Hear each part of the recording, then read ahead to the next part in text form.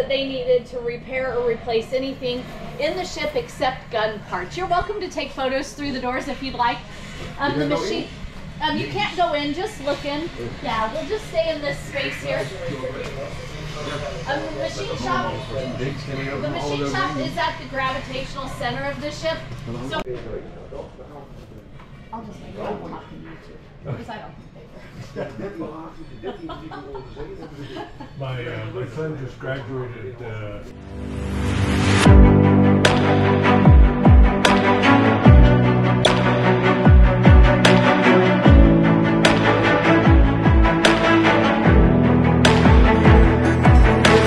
This scuttle that you see here is called an escape trunk. It originates about 10 meters down, about 30 feet, um, at the bottom of the engine room and fire rooms. All of these have an, all of the, these spaces have an escape trunk. If a fire broke out into, in one of those spaces, all the sailors would load up inside of the escape trunk. It's, it's quite large inside, and there is an emergency emergency lighting inside there. Um, but they would load inside, but they would lead, leave this scuttle closed. Um, the last man in would be the senior man on watch. He would close the door, secure it down tight, and then he'd yell, "Last man in." Once he said that, they know that they can open this escape trunk or this uh, scuttle here and escape up to Broadway. All right. It can open? It can open. I, I've never opened it, and I don't know if it's safe. It's very heavy. Can we try it? Can we try it? Um, please Yeah, speak. Jan, Jan will do it. So, Maybe they secured it. For, I think one, a friend of mine, she did open one one time because there's more, um, and it, she dropped it on her foot and she had to have it. secured. yes, I know, but Oh, it's, I think so scary. Not going, it's so scary to look at. Ten it. in Oh, one. No, no. Yeah. Jan will not fall through. No. So remember I talked, I told you all about that splinter deck, almost one meter of void space. Behind Roman here is a stair or ladder rungs here. That oh. leads to that splinter deck. Besides being a space that would disperse the shrapnel laterally, it could also be an escape hatch. Hmm. So this, there's no emer-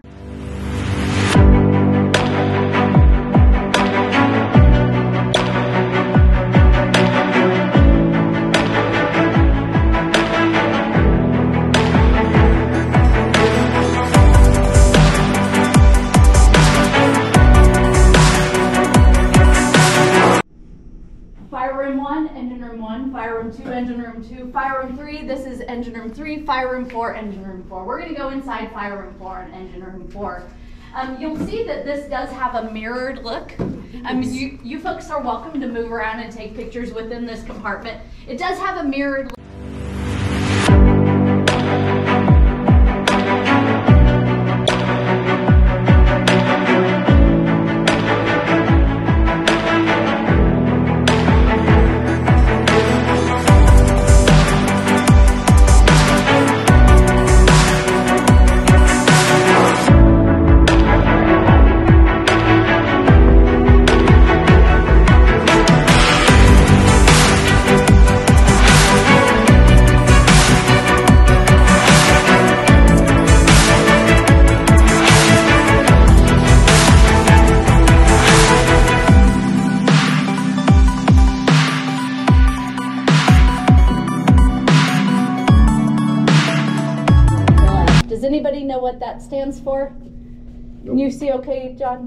Um, A triple F stands for aqueous film forming foam. Come on over here. You need me to position you, Jan? um, A triple F, aqueous film forming foam. They would mix 4% of a special solution with 96% seawater, and it creates a foam that's used to put out fires that cannot be put out with water fi- fire or um, fuel, oil, chemical, those kinds of fires. Anything that you see with the red and green stripe, you know that it has to do with the AFFF system. All right. And then the third type of fire suppression is called halon. Does anybody know what halon gas is? Did you get a photo? Yeah. So this is this is the halon activation station. Halon is a gas that suppresses the oxygen in this space. If they were gonna set that off, they would set off an alarm, alert the crew that they need to vacate the space, because you and I need oxygen. Um, then that would, they would release that. They don't like to use halon anymore, it's very bad for the environment, and it takes forever to clear those spaces of halon. All right, we're gonna head into, does anybody have questions about any of the emergency equipment in Broadway? Was there a special fire department crew on ship? Um, they did have fire, yeah, special like damage control people, yeah. I don't know if they were an exact fire department, but I, But the- Most of the time they have two jobs, Yeah. yeah. one regular and one special. Yeah. So Um, yeah. So we're gonna go inside the fire room. Um, we're gonna go.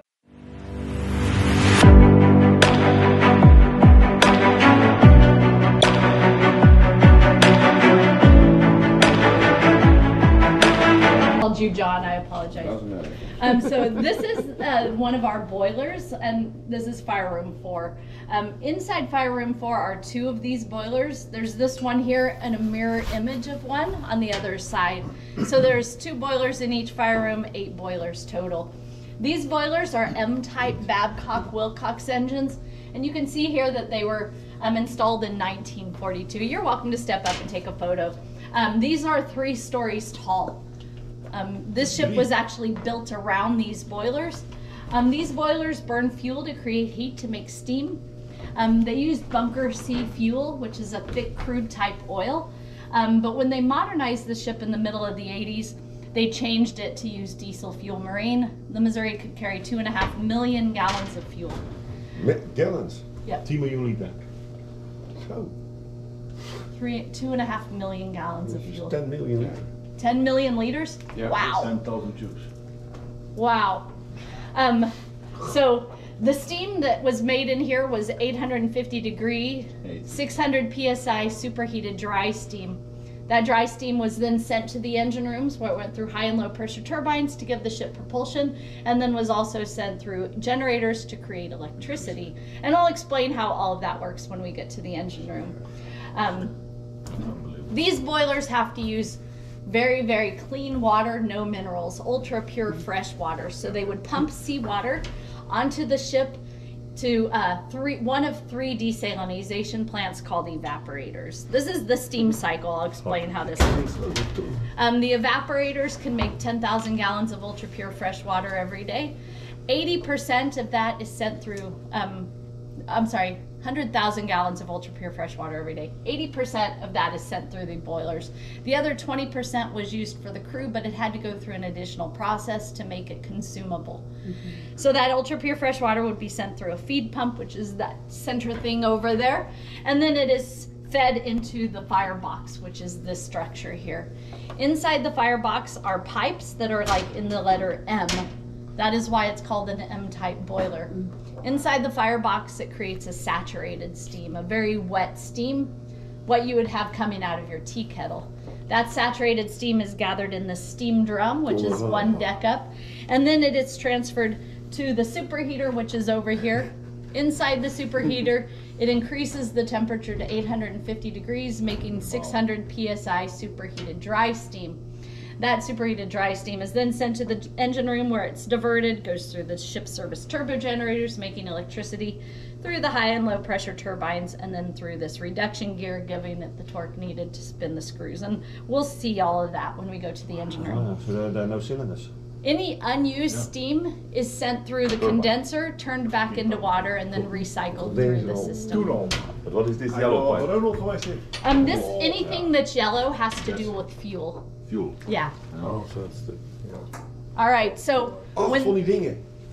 Eet. eight boilers. eight boilers Ja, total. maar dat eet supersteamers en eet Yeah. backup. So if they were gonna light this, um, the light off process is a very dangerous and intricate process. And when they did that light off process, they had to have a watch officer or a, s- and a safety observer present for that. Um, but before they would light it, they actually had to inspect this. They used a lighted periscope called a BID, a boiler inspection device. They would stick that inside, look around, look for anything that would prevent the the uh, sup- the firebox from functioning properly. Um, if they needed to clean it, excuse me here. If they needed to clean it, they would send sailors in to uh, clean, and it would look something like this. Wow. But once it was cleaned and inspected, um, then they had to uh, purge the system with 15 minutes of compressed air. And where's the hole that they go in? I don't. Oh, the hole for to light it. No, to for go them. in. To go in. Oh, Maybe they I take think it in the on back. Yeah. Okay. So, uh, but when it was ready, after they cleaned, inspected, purged it with the compressed air, then they would prepare the torch. Now, let me back up a minute. It would take three hours for this boil these boilers to make usable steam, but it took 10 to 11 hours to get these engineering systems up and ready to go. So if they needed to leave at 9 a.m. tomorrow, they had to start this whole process at 10 or 11 o'clock tonight. Mm-hmm. All right, cleaned, inspected, purged, they would get ready for the, the light off, okay? First they would do, me, they would prepare this torch, all right? This torch would have a rag wrapped around the end of it. They would dip it in whatever fuel they were using, light it with their trusty Zippo lighter. They'd have the fuel on, and then they would insert the torch here. Once this was all the way inserted, then they would count one 1,000, two 1,000, three 1,000. If the, if the burner didn't light within three seconds, they had to remove the torch, turn off the fuel, start the process all over again. There's, there's sight glasses so they could see if it lights. Once burner number one was lit, they could transfer the torch internally to burners numbers two, three, four, and five. Four multiply five Five. And then eight. and then eight. Um, oh my goodness. Then you So- can make a light inside that you can look. So, uh, and then they really had to monitor things. Once the boiler was lit, they had to monitor the color of the smoke coming from the stacks. The goal was to have clear smoke, kind of like a wavy, transparent smoke. If they had white smoke or black smoke, it indicated an improper air fuel mixture. Black smoke, too much fuel. These handles controlled the amount of uh-huh. fuel. Mm-hmm. White smoke, too much air. These are air dampers. This was the hottest room in the ship. It got up to a 125 Fahrenheit, which is Oh. 52 degrees Celsius. Oh. Um, but when they air conditioned the ship in the modernization, they piped cool air from the air conditioned spaces mm. above, and then the temperature fell to only 32 to 48 Yeah, but it degrees was the last couple of years. But in the beginning it was 52 in the war. Do you all have any questions? And then, and then everyone have the So, so you would have to adjust the fuel and air individually for each, there you go. I think based it- on the color, I guess, Yeah. of what you thought. Yeah, I'm not. I'm not sure how that process happens. A lot I mean, they're watch. don't knowing. Oh, yeah. Mm. Now, to watch the color of the smoke leaving the stacks, they could either use these periscopes, which don't u- work anymore, or there would be a man, a snipe on the s- on the superstructure, and he would be watching the color of the smoke, and he could communicate that color down to the, the fire rooms here. 52 degrees. Then you have to work in the dark. Uh, By f- By 40 you burn, you, bu- you burn yours. What about unions? I, I do know that they had Navy. they had four to five hour shifts. Yeah, but still, right. five minutes is a long. All right, if you want any pho- last photos, go.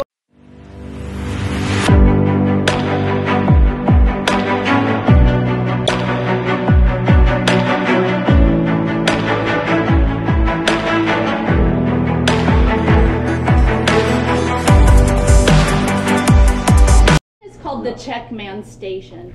Anytime the boilers were running, this had to be manned by the check man. He used these valves, he opened and closed valves to control how much water was gathered in this steam drum. This is where that saturated steam was collected. Um, he would watch the, these had like little bubbles in them, you know?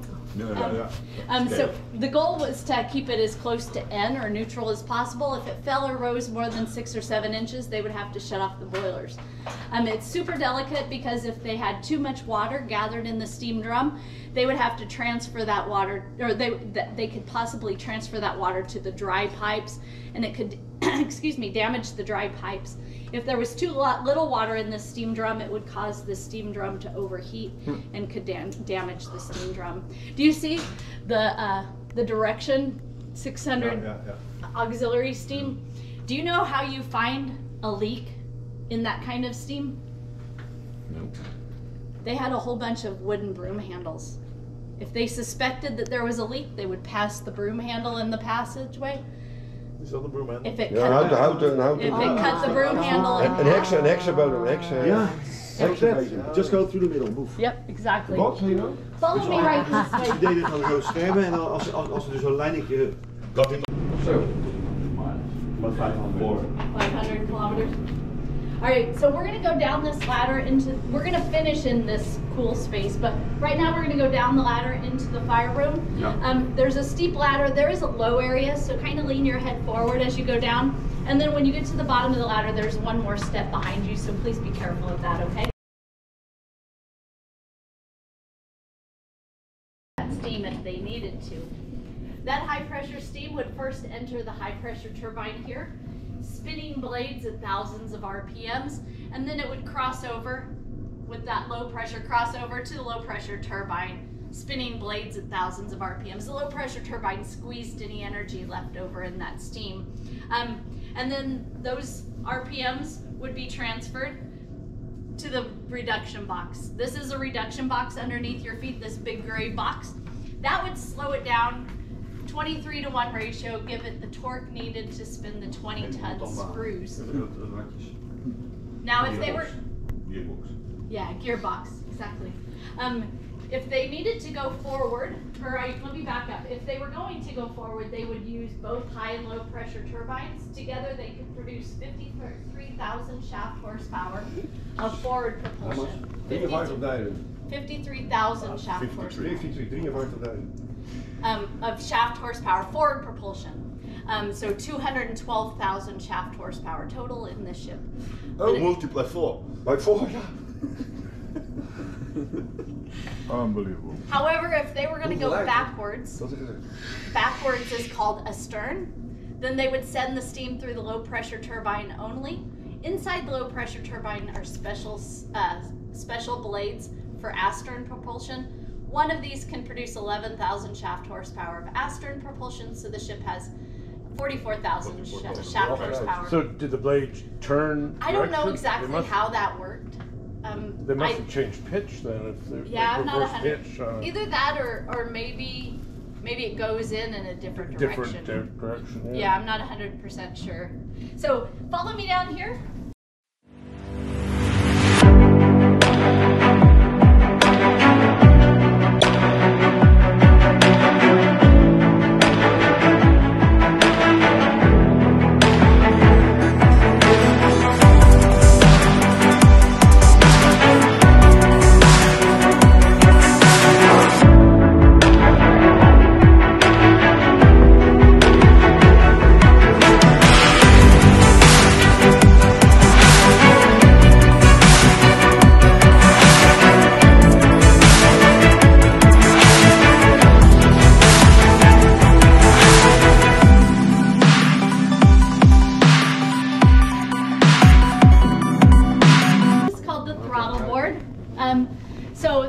Speed orders would come down from the bridge.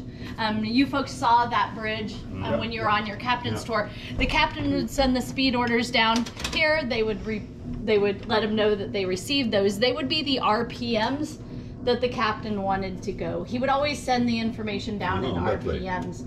Um, and then there's a table here that shows if you wanted to go 130 RPMs, that's 22 and a half knots. Our ship could go 33 knots, which is 40 miles an hour, 61 kilometers per hour land speed. Um. So anyway, they would never give RPMs 999. These are special orders if they were going to go in or out of port. Um, but it would be an RPM. So once the speed orders were received, they would come to this wheel. They would turn this wheel. By turning the wheel, it opens valves. The more valves that are open, the more steam that's let in, and the more steam that's let in, the faster they could go. And then they would monitor those RPMs here. But if they were going to go astern, so backwards, they would make sure these were closed, and then they'd come to this wheel, opening it the same way. All right. Um, so, um, again, four four fire rooms, four engine rooms. This is kind of a layout of how the ship is is built. Um, the blue rectangle is Broadway, and as you can see, there's fire rooms and engine rooms all the way down Broadway. Um, the longest shaft, these shafts are 0.78 meters in diameter. Zo. Hè? 0.78. Punt achter. Bijna een Inch, inch, hè? Ja. Point seven, yeah, two and a half feet. I don't have it all memorized, so I'm gonna, yeah, Diameter. two point six. I'm sorry, 0.76. 0.76 meters in diameter. As. Um, the longest shaft is a hundred, a hundred and three meters. Just a sec, let me make sure. 300 feet. 100. 103.6 meters, which is 340 feet. Um, the shortest shaft comes from this engine room, and it is uh, 54.5 Ja, maar meters. 100 meter. As, Een meter. van een meter dik, kaarsrecht. So yeah, so and then and then you can meters thick. see that there are four screws. Wat? Nee, one Let me, meter let me let them discuss. Six, 76 Listen, centimeters. Oh, I'm okay as long as if as They long know as it, they know it already. Okay, perfect. Um, so you can see though that there are two five blade screws and two four blade screws. Yes. These five blade screws are five five point three three meters in diameter, and these four blade screws are five point four meters in diameter. Twenty tons, and you can see this is what they look like while in dry dock. Do you all have any questions about any of that? You're welcome to look at it. Um, but They're brass. they're bronze. Oh, bronze. Yeah, they are bronze screws. Um, if the fire room is the hottest room, this is the loudest room. Go ahead and step in there, Jan. Jan, dus Jan. Oh, Jan, I'm sorry. Step in there. That's a soundproof booth. Oh ja. I'm sorry. Oh, Ja, interesting. niet helemaal, maar wel. Louter. Does it get quieter? Ja, dat is- you, you can speak ja, ja. I think all wives need one of these. Yes. All men. All men need one. No, no, no, no. Men, wives. Keep, keep talking. When they go on attack, eh? Ross, are you married? Yes, How long have you been married? five years. You're very young looking. Oh, thank you. I'm very old. Steam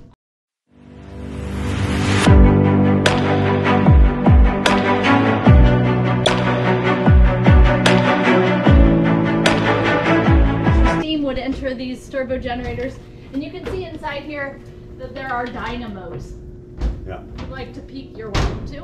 Oh, It would. zo. In fact, here, I'll let you, each one of you just pass this, the flashlight off. It would spin those dynamos and can Oh, I create can't reach it. electricity. um, each one, each generator can produce 1,250 kilowatts of power. So the Missouri could produce 10,000 kilowatts because there's two in each engine room. 10, eight 10, of 10 these. megawatt. 10 megawatt. Yeah, 10 megawatts of power in this ship. Um, now, if they were going to go from point A to point B, cruising speed across the ocean, they would only have two of these generators going and one on standby. Um, that was enough electricity to run the ship. However, when they were in battle, so during general quarters, they would have all eight of the generators going. That way, they could produce enough electricity um, for the big guns because all of those big guns have electric motors. Do you all have any questions about any of that? It's not normal. It's not normal.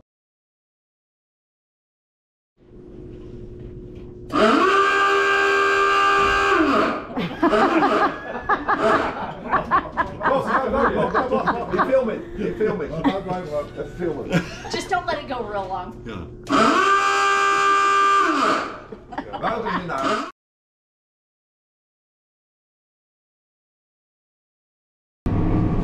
Volgens mij wordt hij nog als het goud. Hey, waar Kamer 311 komt even uit. All right. So come Dat was on steeds gekker. over Dat was here. steeds gekker. If you folks can, just come over on this side. Come on over on this side. I'll explain what this space is. And we're, we're going to go in that room in a minute, John. Um, so come on over here so you can see this. Yeah, on this side. Oh, God. Oh. Come on over this. All right, so this is the five-inch plot room. Um, this is the aft plot. There is also a forward plot. Um, on the third, fourth deck down, all the way forward of the ship. But this is for the five-inch guns. That's the secondary battery. In the next room is for the 16-inch guns, um, or the primary battery. And what you see here are computers. Now these computers are electromechanical analog computers. These are 20s technology, built in the 1930s, installed in the 1940s, and when the ship was modernized in the middle of the 80s, they decided that these worked just fine. So they did use these computers all the way through the first Persian Gulf War. So the way this works is there are gun directors. The gun directors are manned positions higher up on the superstructure. Um, those are manned positions with gunnery radars and optical range finding systems that gather information about the target. Information like wind speed, wind direction, direction and speed of the target, direction and speed of our ship. All of the variables are sent down through these barrel switches you see behind me. When the information is received, they turn the barrel switches, that sends the information to the computers. The computers calculate the variables and then send messages to the motors in the gun mounts for how to train and elevate the guns toward their target. Um, so Dit is not true. it is true. not possible. It is true. It is not possible. You know So- what I mean? So these, uh, these, this is the Mark 1A fire control computer, but as you see, there are no triggers on this computer. The triggers are here. This is the Mark 41 stable element. Inside is a gyroscope. Uh-huh. The far left trigger is just a signal that sends out an alarm saying the guns are ready to be fired. The far right trigger is the hand firing squeeze boom. The middle trigger is automatic. When they squeeze that, it delays the firing a half a second to two seconds until the um, gyroscope inside indicates that the ship has returned to level, more accuracy in firing. They would use this one if they were on calm seas or if their target were close. If they were on rough seas or if their target were farther away and accuracy was more important, then they would use that, that automatic trigger. Do you all have any questions? Dit is But if you, if you hear, did you also hear the gun or not? Um, I think you would feel a shudder, but keep in mind you're under six inches of or 15 centimeters of steel, and not lots of other steel. At this level, there's actually what's called the upper belt. On the third bulkhead in is 12 inches. I don't know what that is in centimeters. Maar aan die 30 some cent, Yeah. about 30 centimeters. Um, and yeah, and that tapers as it goes toward the keel. That's all protection for these engineering spaces. Dus, dus aan die end, dit is de importance room. Yeah. But technically, So you follow- shoot no boom. Take whatever Yeah. photos you Yeah. want Yeah, in you here and then follow then me into this Yeah. space. Yeah. They Danny say it is allowed. And this one do automatic. Dus the guns go like this and then a half second later is in position, bam. Just follow me this Computer, 1930. Dus deze, deze dingen krijg je boven moet je filmen. Ja. Op de, op de, op de ding.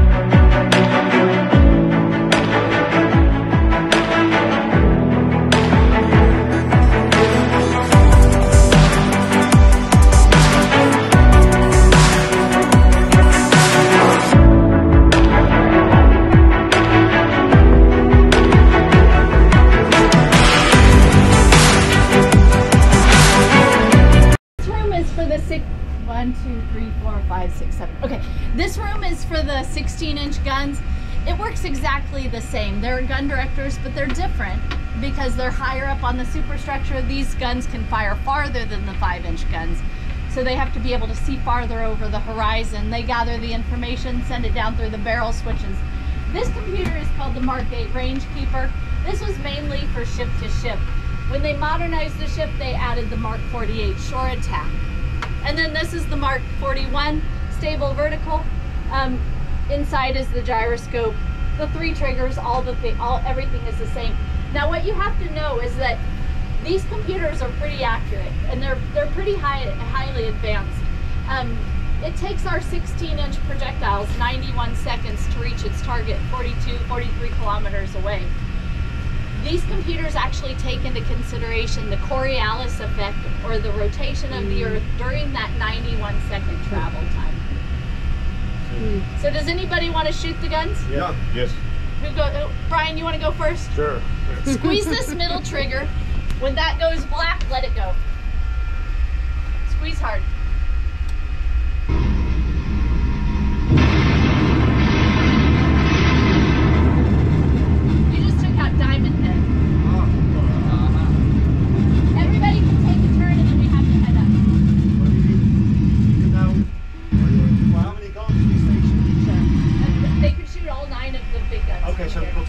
All in one room, all the guns. They could, but there's also a forward plot room. Ja, dan. Laten we naar wat daarvoor. So there, this is for the 16 inch guns. Yeah. That's for the 5 inch.